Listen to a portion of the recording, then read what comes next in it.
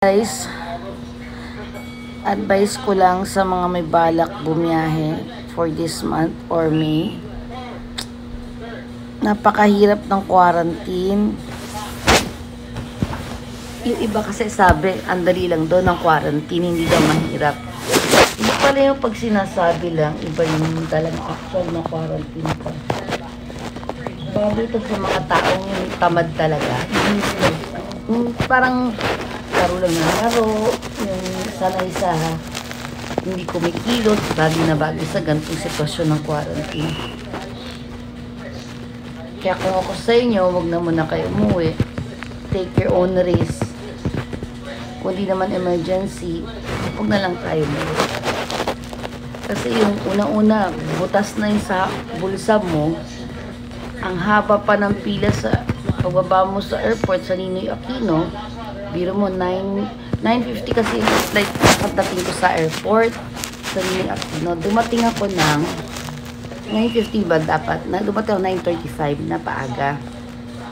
Then pagdating doon, may pila doon, yung parang kulay yellow na papel, pipila pa mo sa airport, sa plano pala, hindi embarking card yun. Yun yung parang health check. Sabihin kung may hypertension ka ba, kung may sakit ka, kung may ininom kang gamot.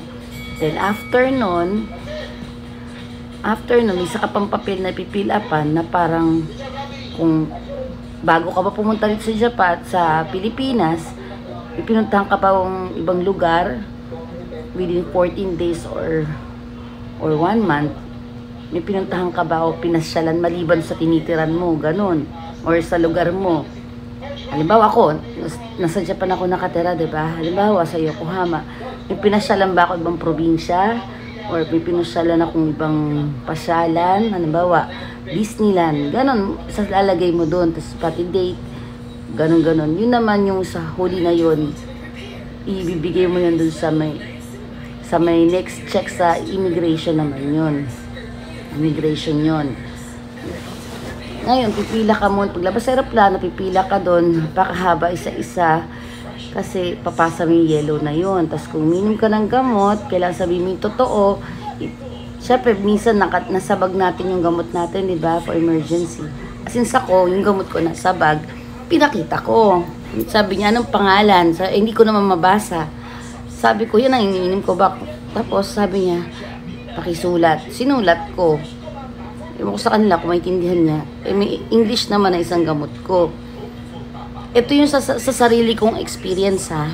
Hindi tayo pare-pares. Pero lahat ng process ng pinilapang ko, tsaka yung, yung ginawa o the way na ano, lahat same.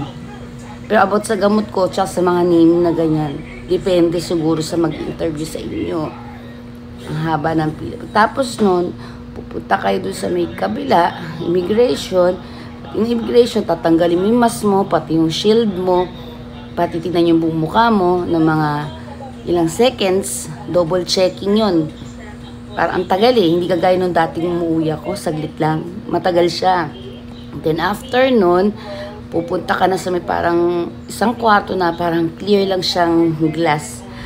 May mga upuan hilera kayo doon by group. Kung kayo buong dyan magkakasama, kung ano aeroplanos na kayo, magkakasama kayo. Upo kayo. Tapos pag may dumating ibang aeroplano, magkakasama rin kayo doon. Nakakatakot kasi masyadong dikit-dikit. Pangalawa, walang hangin na pumapasok. Siyempre, di ba? Ang init-init. Walang aircon ng airport. Imagine gabi na yon ha. Then, yung flight ko kasing JAL, tat 30 katao lang kami. Karamihan doon mga mga ano to yung mga galing Amerika nag-drop by sa Japan then transfer dito papuntang Pilipinas na siya tapos mga Pilipino talagang galing Japan is tatlo lang. Tapos yung OFW apat or lima yun. Then advice ko lang kung ano mag-download na kayo ng QR code nyo para hindi na mahirap. Yung iba kasi piniprint pa sa papel. Huwag nyo na lang i-print. Huwag nyo na i-print, diretso na sa cellphone nyo. Okay naman yun. Then pagdating nyo sa may balik tayo sa usapan, balik tayo sa pang after immigration, may upo kayo doon, may pipila pa na naman po kayo doon. Pagkapilap nyo po doon, may dalawang papel. Yung non-stop shop, non-stop shop na parang nakalagay doon kung